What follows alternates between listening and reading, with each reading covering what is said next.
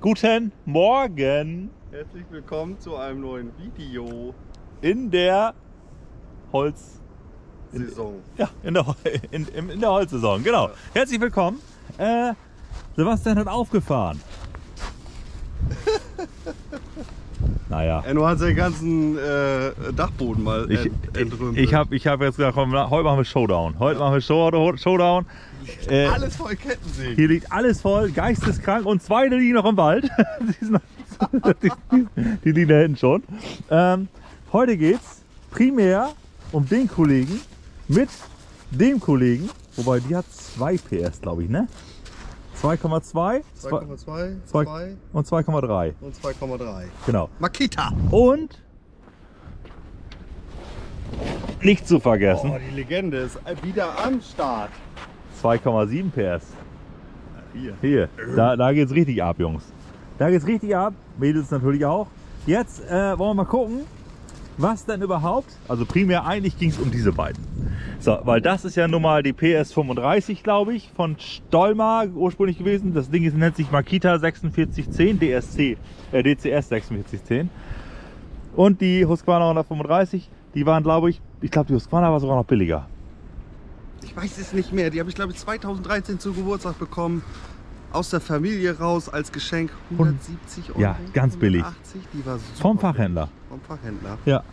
Und die hier meine ich, dass die immer so um, ich glaube die PS32 mit 1,8 PS, die lag auch immer so bei der 200 Euro Range.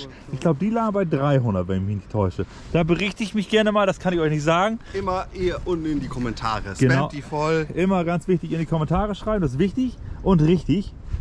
Und äh, der springende Punkt ist ja nochmal, was können die Kollegen? Gewichtstechnisch habe ich die beide schon gewogen. Ich blende es jetzt aber wieder ein. dass äh, die wiegen beide gleich. Also 5,5 Ja. Kilo Ja. äh, wiegen die beide voll getankt. Obwohl die etwas massiver aussieht. Genau. Wiegt aber eigentlich das gleiche. Mhm. Muss man auch sagen, von der Verarbeitung her ist die deutlich schöner. Hier muss ich drei Schrauben lösen, um an die Luftfilter ranzukommen. Ne? Das hast du da schön mit Clips an. Wobei du sagtest, die neue. Die neue hat er auch mit Schrauben wieder. Was soll das? Also oben diese Bajonettschrauben sind, glaube ich, jetzt voll in. Aber Ich das mein, ist doch Stihl- viel geiler. Stiel hat es ja auch äh, jetzt gemacht, ne? Ja. Ist ja bei der 261 auch. Das sind ja auch über diese Bajonettschrauben oben drauf. Stimmt. Ja. Was ist das denn? Ja, was? Vielleicht ist es ja vibrationsbesser oder keine Ahnung. Vielleicht sind die irgendwann mal gebrochen, aber Vielleicht auch einfach kostengünstiger. Kunst- ja, kann sein. Kann auch sein, ne? Wir machen auf jeden Fall heute den Kaltstarttest von den beiden. Genau. Beide nicht gelaufen, beide voll getankt. Äh, und wir wollten mal wieder, ihr kennt das, ans Damm. Ja, richtig, Weil genau. nur da zeigt man, was die können. Das Ja. ist einfach so. Richtig. Beide haben frische Kette, die Kette ist neu. Nagelneu. Diese Kette ist auch, ja, so gut wie neu. Ja. Kannst du auch nichts sagen. Richtig. Genau, sechsmal Pumpen steht hier drauf. Vorprimer ist ganz geil. Ne? Dann hast du hier den Multischalter Ja, nach ist- oben. ist. Der ist auch nicht schlecht, genau. Und unten nur ein Switch-Kill-Schalter und Das geht ist- dann wieder in die Hatten sie damals schon in der Preisklasse. Damals schon, genau. Genau, dann haben die immer geworben oder patentiert mit dem X-Torque. Das soll eine drehmomentverstärkende Maßnahme sein im Ansaugtrakt. Keine Ahnung. Also Vergaser versus Ansaugtrakt. Müssen wir mal sehen. So, Choke ist an. Wir gucken mal, was wir hier zustande bekommen. 3 mal Einmal 10 ziehen. läuft. Eigentlich immer so bei den Sägen. Geiles Gerät. Genau. Kann man nicht anders sagen. Einmal den Killschalter. Weltklasse. Und dann werde ich mir mal die Dolmer zu Gemüte. Ich werde hier auch mal sechsmal pumpen. Genau, steht nichts drauf. Einmal Hier geil, transparenter Tank Mega. und transparentes Öl vorne auch. Das ist schon mal cool. Ja, sehen. Insgesamt, wie gesagt, sie sieht klobiger aus, als sie eigentlich Ja. ist. Sie ist jetzt nicht, sie ist kein, kein Schwergewicht. Wir haben hier oben jetzt gerade aktuell die Schockstellung, Genau, darunter die Einstellung und aus. richtig. Ne? Aus. Hier, Und da gibt es auch noch ein Schlosszeichen. ja, ganz unten ist dann aus, dann ist eingerastet. Und so Genau. tastest du die nur aus. Eingerastet aus. Das habe ich so auch noch nicht gesehen. Aber auch schon mal cool, dass sie einen Taster hat. Ja, Haben wir im Baujahr 2010. 2010. Also auch schon 14 Jahre. Ja, jetzt auch 14 Jahre alt. Buckel. Ähm, Choke ist an. Gepumpt hast du. Gepumpt hat er.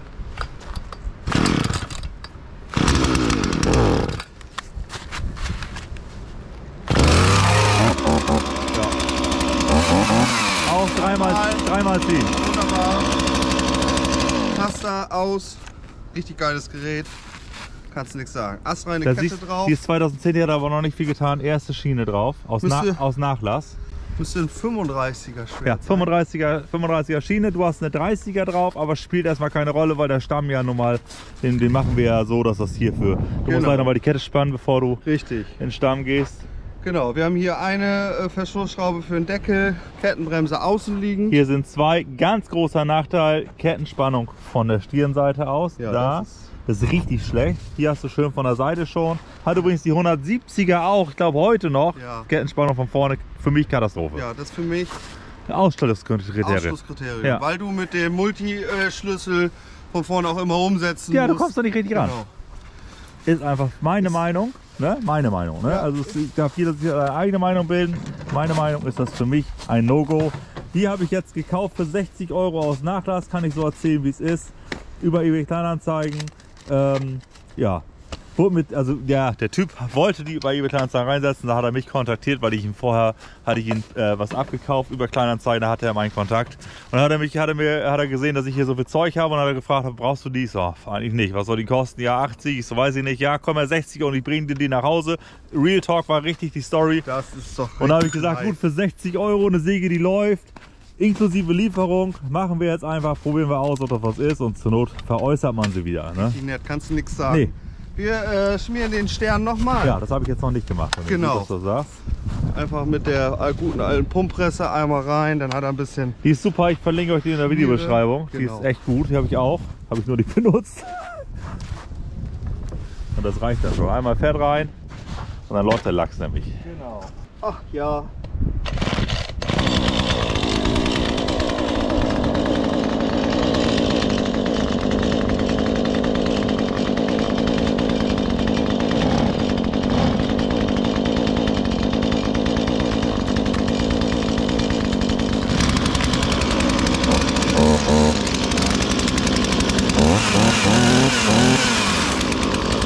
Beide sehr leise, ne? Ja, Also angenehm. gleiches Level so, ne? Genau.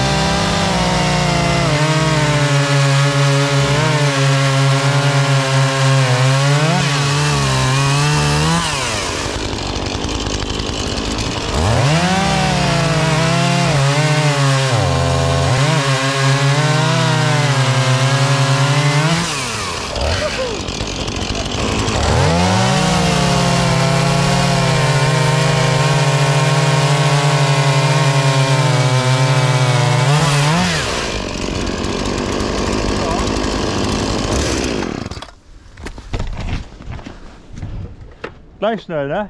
Wir sehen hier ein gleich schnelles Ergebnis. Gleich schnell. Ich hatte erst ein bisschen weniger gedrückt, also Genau. fast gar nicht. Und, äh, aber die Motor muss jetzt warm werden jetzt. Ja. Das konntest du bei der Dolma gut oder bei der Makita gut merken, dass die, wenn die warm wurde, immer ein genau, bisschen wurde mehr. Immer ein bisschen leistungsstärker. Mhm. Sehr, sehr ruhiger Lauf. Ja, muss ich auch Auch sagen. von der Kette her. Ja. Also vom, vom, vom Schwert her und so weiter. Wie gesagt, man muss auch sagen, das Schwert ein bisschen länger. Sie muss also ein bisschen mehr Masse. Wir sind auf der äh, Husqvarna ist ein 30er Schwert drauf. Genau. Und äh, sie muss natürlich ein bisschen mehr Kettenmasse bewegen, ist klar. Die macht, also vibriert auch tatsächlich nicht doll, muss ich ehrlich sagen. Deine ja auch nicht. Nee. Ne? Die sind beide sehr vibrationsarm dafür, dass es äh, Hobbysägen sind. Genau, die sind also wirklich, wirklich gut gefedert hier unten. Wo andere nur einen Silentbock haben, man kann das hier schön sehen. Ja, das ist, das ist richtig gut bei der hier. Ja, Bei dieser hier ist das nur über. Ach guck, die hat nur Silentböcke. ja, ja. ja. Aber äh, dennoch geht es tatsächlich, muss ich sagen. Macht aber trotzdem einen sehr hobbymäßigen Eindruck alleine durch sowas hier. Ne? Das ist halt, macht halt seinen Dienst, aber ist halt so ein bisschen, sieht halt nicht so Genau. stylisch aus. Aber Andere das haben ist, das einfach zweifach gefühlt. ja, ist, ja. ist halt einfach, einfach. So wie deiner hat das zweifach geführt. Ja. Ne, kann man da auch nochmal schön sehen. Richtig. Hier ist halt einfach, ist aber nicht weiter schlimm, funktioniert. Macht halt einen labrigeren Eindruck, ist einfach so, meiner Meinung nach. Aber ja, du, äh, funktionieren tun sie beide, ne? Genau. Und für 60 Euro. Ja, da kannst du mal nichts sagen. Also, also tatsächlich, wenn ihr mal bei Kleinanzeigen guckt und sowas irgendwie eine günstige Säge braucht, äh, gerade in der Leistungsklasse 2,3 PS ist eine schöne Leistungsklasse, finde ich. Ja. Da kann man ruhig mal gucken, ob man sowas, ob man sowas vielleicht findet. Da, da machst du, glaube ich, nicht viel verkehrt. für schmales Geld. Auf, Ne? auf gar keinen Fall. Für den Kurs Ja, eben, willst du 60 Euro. eben. 60 Euro, selbst wenn du dafür 80 geben würdest, wäre es immer noch gut. Genau. Kann man machen. Ich habe da nichts dran eingestellt, ne? nichts. Das ist super. Und auch hier wieder war der, da war ja immer Mischung drauf gefahren worden. ja. Ne, richtig, also und was für eine Mischung, Alter. Das Ding qualmte und steifblau. und was habe ich gemacht? Benzin abgekippt, Sonderkraftstoff rein darf man ja, aber sollte man normalerweise nicht Ja. machen, weil das ja eventuell Probleme geben kann, dass da irgendwelche Kohlestücke sich lösen durch den Zylinder, durch anderen Kolbenfresser etc. Äh, war mir egal. Ich denke, entweder Gold of Dose, so sagt man auf Plattdeutsch, entweder gut oder tot. Und es lief. Hat funktioniert. Ganz eiskalt, SK rein, Sonderkraftstoff. Da werden wir heute noch ein paar Stunden mit Segen, denke Ja, ich, dann lass mal sagen, also wir machen jetzt noch ein bisschen und melden uns dann später nochmal wieder. Wir wollen mal ein bisschen warm werden jetzt hier. Ja. so, ich nehme euch noch mal mit. Ich habe da hinten eine schöne Eiche gefunden. Die ist schon ungeweht. Da hinten seht ihr Enno. Fleißig wie immer. Fein. Äh, mit seiner neuen Echo. Ja, das Ding super, ne? Also für so eine kleine 1,5 Kettensäge, 1,5 PS Kettensäge, mega geil. Ja. Ihr seht, ganz schön weiß hier heute, ne? Ähm, macht das Laufen nicht äh, ungefährlicher hier. Ähm, aber wenn du nur den Samstag hast, dann musst du nehmen, was kommt. Oh, einmal durch den Graben. So, und dann hier haben wir eine fette, umgewehte Eiche. Äh, man sieht, ich zeige das mal, selbst mit dem Schwert. Also ich denke mal 65, 70 plus hat das Ding. Bin schon mal ein bisschen angefangen. Stell die Kamera ab, lasst euch ein bisschen teilhaben.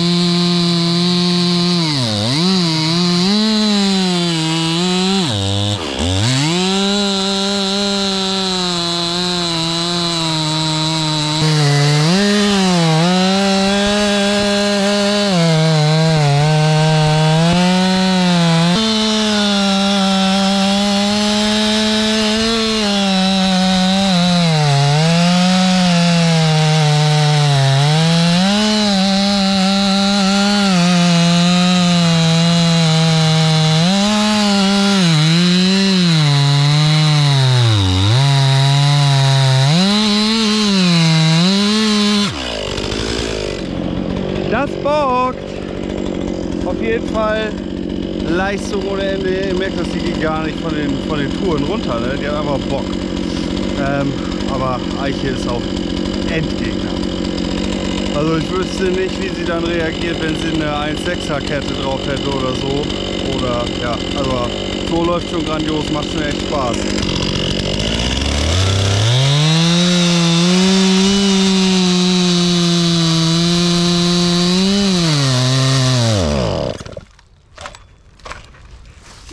Übungsende. Oh, Sprit auf. Ich muss sagen, wenn du das jetzt so schneidest, das war jetzt Viertelstunde, äh, diese fetten, oder wirklich fetten Eichentaler, dann ist auch schnell Übungsende im Tank. Ne? Also dann muss ich ganz ehrlich sagen, saufen die Großen auch. Wobei, man muss auch ganz ehrlich sagen, da ist auch eine Menge Holz. Ne? Also aus einem so einem Taler, zwei Taler ist Schubkarre voll. Also da werden nachher wohl 5, 6 Meter zusammenkommen auf so einem Baum. Jo, ich muss tanken. Im Stamm ausgegangen, ne? Ja, so viel Loch. Geht, oder? Was geht da rein? Weiß nicht.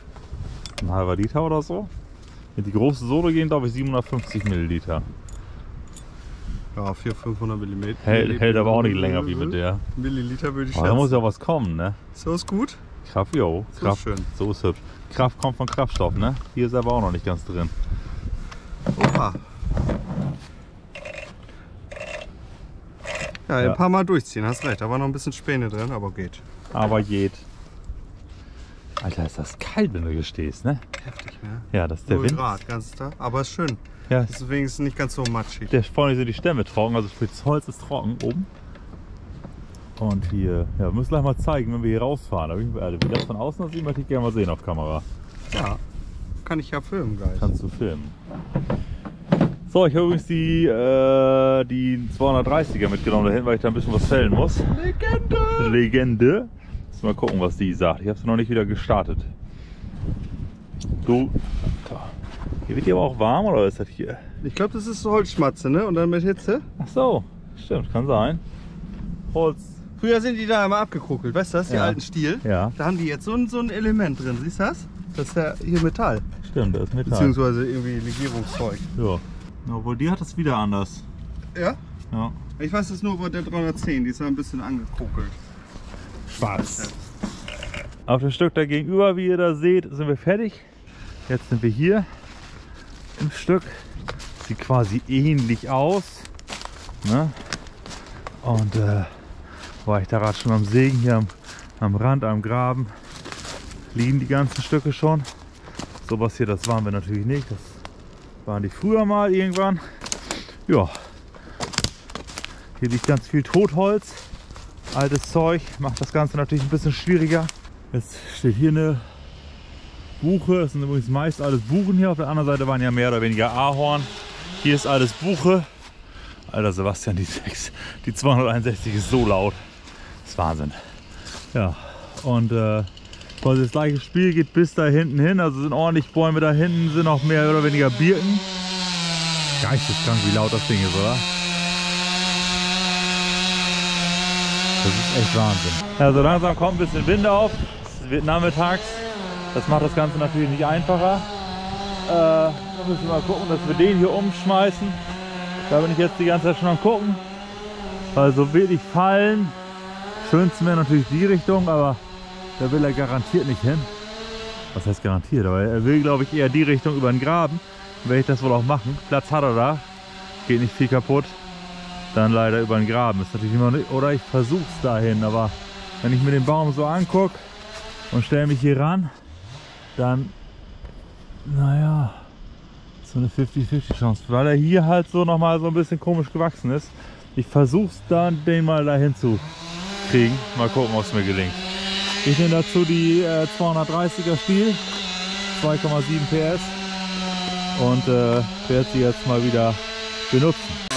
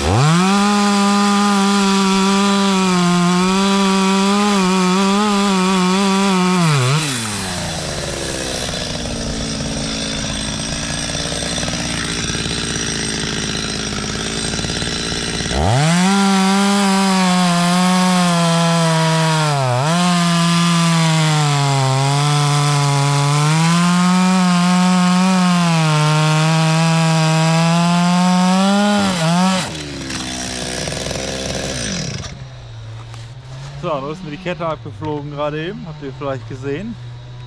Äh, ich habe da eine Kette drauf, die gefällt mir sowieso nicht. Die springt wie Sau. Segenspezi. Oh, meiner Meinung nach springt die gerade, wenn du den Fellkeil machst, dann springt die wie Sau, ey. Ob es da eine Kette liegt, ich weiß es nicht. Auf jeden Fall ist das Schöne jetzt an meiner Schnellspannsäge, dass ich jetzt mitten im Wald stehe, kein Werkzeug brauche und kann die einfach wieder drauf montieren, die Kette. Ne? So wieder über den Stern hier. Vielleicht liegt es auch daran, weil ich die Oregon Schiene drauf habe und Segenspezi Ketten. Kann auch sein. Ich will da jetzt keinen verurteilen. Kette ist wieder drauf. Die hat ja auch so eine komische Form, ne? die Sägenspezi-Kette. Seht ihr das hier noch? Da hat die immer so Reiter noch. Die kenne ich von anderen Ketten irgendwie nicht. Das ist ein Patent von denen wahrscheinlich, denke ich. Sonst ist die schön scharf. Kannst nichts sagen. Das Einzige, was mir halt aufgefallen ist mit dem Springen, gerade bei äh, diagonalen Schnitten beim Fellkehr, Fellkeil zum Beispiel, da ähm, fängt sie an zu hüpfen und beißt sich fest. Das war gar nichts. Wie gesagt, kann sein, dass das an der Kombination Oregon, Schwert, Segenspezi Kette liegt, weiß ich nicht. Ich habe da ja auch noch ein Original Segenspezi Schwert für oder Schiene. Die habe ich halt wie gesagt noch nicht benutzt, weil ja ich erstmal die gebrauchte aufschleißen wollte. Naja, ich mache auf jeden Fall erstmal weiter mit dem Zerlegen und äh, werde dann da hinten weiter sowieso gleich die, ähm, die, die Echo nehmen. Aber sonst, also von der Vibration her ist natürlich die 230 eine Hobbysäge. Das sagte mein Vater auch, kann man immer ganz schön daran erkennen. Hobby, Semi-Profi. Das kann man immer daran erkennen. Orangener Griff bei Stiel, so hat mein Vater mir das erklärt, ist immer Hobby oder Semi-Profi. Alles, was einen äh, creme- oder beigefarbenen oder weißen Griff hat, ist äh, Profisäge. So hat mein Vater das erzählt. Mein Vater sagte, alle Stiel mit weißem Griff kannst kaufen, alle anderen nicht. so sagte er. Ja, okay, gut. Wusste ich damals auch nicht. Wobei, äh, wie gesagt, die ist ja alles sehr super. Ne? Also die 230er, drehfreudig, einmalig, also Power im Stamm für die Größe, Weltklasse, wie die abgeht. Die, da kommt dann immer vor, als wenn die frisiert ist. So sieht das immer. Also. Die hat richtig Leistung. Macht auch richtig Spaß. Vibriert halt ein bisschen mehr wie die anderen Sägen, aber mein Gott, ne, für das, was wir machen, alles gut. So, ich schmeiße sie wieder an. Ihr habt gesehen, das ist der Vorteil bei diesem Schnellspannsystem. Ohne Werkzeug kann man einfach mal schnell wieder die Kette rausschmeißen und dann geht es weiter. Ne? Das ist eigentlich eine ganz coole Sache. So, wobei wir haben auch hier so ein, na, wo ist er da? Ist so ein, so ein, äh, nee, hier ist er. Hier ist so ein, so ein, so ein Fach für, für einen Sägeschlüssel, aber haben Sebastian und ich beide die gleiche Hose und ich weiß nicht, wie oft wir schon diesen Schlüssel verloren haben. Und seitdem geben wir es auf. Der liegt immer beim, beim Kanister da hinten, beim Auto oder irgendwo haben wir dann unsere Station, wo wir dann unsere Sachen unterbringen. Und da liegt dann auch der Schlüssel, weil ich weiß nicht, wie viele wir von diesen Schlüsseln schon im Wald liegen, also verloren haben. Das ist, ich habe die schon rot, ich habe die Neonfarben gestrichen. Manchmal findest du wieder, aber ganz oft auch nicht.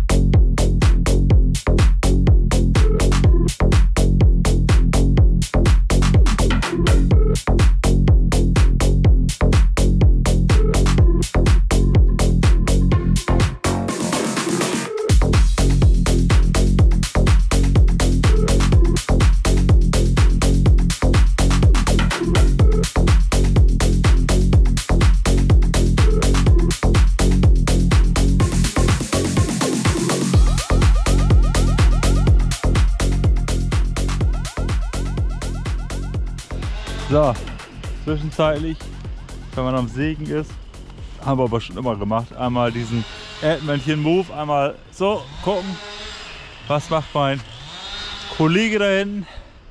Und mit der Säge und hier Gehörschutz hörst du natürlich auch nicht seine Säge. Deswegen musst du dann gucken, aber er hat ja auch immer einen Leuchthelm auf, genauso wie ich. Und das hilft dann schon, da siehst du schon ganz gut, ob sie da hinten noch was bewegt. Sonst muss man da mal ganz schnell mit drei großen Schritten hin. Deswegen sehen wir auch immer zu, dass wir nicht allzu weit auseinander sind. Wir sind jetzt irgendwie 50 Meter auseinander, dass man da mal schnell rüber gucken kann. Ne? Außer Sicht sollte man seinen Waldkollegen nicht lassen. Äh, haben auch welche dann vorgeschlagen, ja hier, kauft euch mal dieses Stiel Command oder so heißt das. Das habe ich noch nicht so ganz verstanden. Das ist, glaube ich, im Gehörschutz hast du dann hier Hör, also Gehör, äh, Lautsprecher und dann hast du halt wie so ein Pilot quasi Mikrofon, dann kannst du dich unterhalten. Kostet, ich glaube, pro Stück 450 Euro. Also bist du irgendwie 1000 Euro los, mehr oder weniger, für dieses System für zwei Leute. Mhm, grundsätzlich auch eine coole Idee, aber ja, müsste man mal ausprobieren. Ne? Aber es ist viel Geld halt auch. Ne? Aber natürlich ist es dann sicherer. Ne? Du kannst dann mal kurz hier, helfe mal kurz, hier Säge eingeklemmt, Breko, Breko. äh, oder hier, ich klemm, was weiß ich, komme nicht weiter, kannst mal kurz helfen oder was mit anpacken. Ist natürlich eine geile Sache, aber 1000 Euro dafür ist natürlich auch, boah, ne, schon krass. Musst du mal gucken, vielleicht gibt es auch günstigere Alternativen, könnt ihr mir mal schreiben. Ich bin jetzt so in dieser Motorradfahrerschiene am überlegen gewesen. Da gibt es ja auch so Helmeinsätze oder was für Gehör, also für, für, für Motorradhelme. Könnte man ja hier auch ein, ein, einbauen. Das Ding ist aber, dass du dann halt, ja, mit der Lautstärke von der Säge verstehst du auch gar nichts. Ich weiß gar nicht, wie das überhaupt gehen soll bei dem Stilsystem. Ob das dann auch funktioniert, wenn du am Sägen bist, kann ich mir kaum vorstellen. Ne? Oder ob du da einen Knopf drücken musst, dass du dann funken kannst. Ja, wird wahrscheinlich so sein, ne? dass du eine Taste drückst und dann kannst du dann reden, lässt du los, ist wieder Ruhe, sonst hört, hört der andere ja die ganze Zeit deine Säge. Das wäre natürlich äußerst nervig. Da könnt ihr mir gerne mal in die Kommentare schreiben. Naja, ich habe auf jeden Fall das ganze Ding hier klein gesäbelt. Müssen wir dann mit unserem Waldtaxi abholen, sprich aka Panzer. Ja, ihr seht, ich habe noch genug zu tun. Ich melde mich dann gleich wieder, wenn Feierabend ist. Allzu lange ist auch nicht mehr. Wird schon wieder dunkel, ne? Denn hier ist El Macho am Stissel. Oha, ich kann hier gar nicht laufen. Man sieht das hier vielleicht. Ist echt übel am Schlüssel.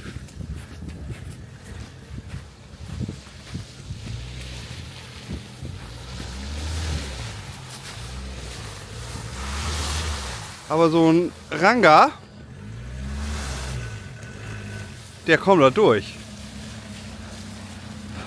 Oh, der hast du aber auch gebraucht jetzt. Ja, den Ranger. Allrad, ja. Alter, du hättest äh, ein bisschen eher, glaube ich, reingemusst oder willst du einfach.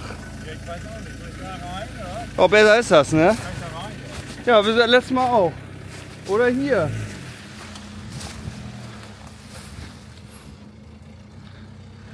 Geile Karre, Alter. Gerade. Ja, so sieht gut aus.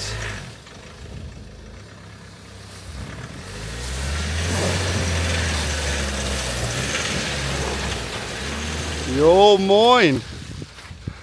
Ich würde mal sagen, da ist die Karre zu Hause. Also, das ist schon äh, Neißenstein. Das kenne ich, kenn ich beim Bund auch nicht besser von den Kisten. Da macht das schon gut, ne? Andere machen da eher mal Puste, au, äh, äh, blasen da eher mal die Backen auf. Ähm, hast du, gebaut, ne? hast du gewollt und dafür ist er auch gebaut. Nichts anderes. In der Stadt bringt so ein Ding nichts, ne? Genau.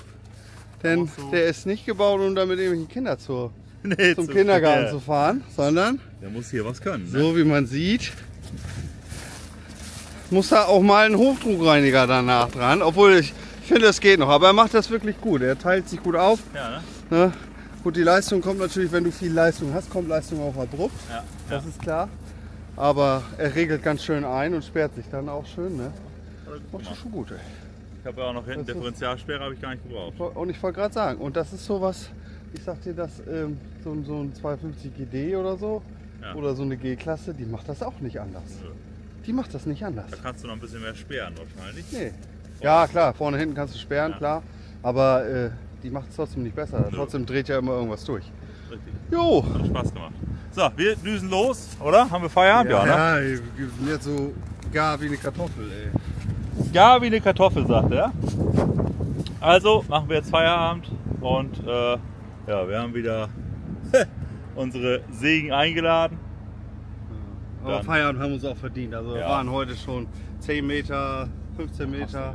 Kommst du gar nicht mit hin. Nee, Nee. kommst gar nicht mit hin. Kannst du mal schlecht schätzen, wenn das alles auf dem Boden Und allein deine ist ja schon 6 Meter. Ja, deine, deine ja, die Eiche. Eiche da. Wahnsinn. Alter. Naja, so.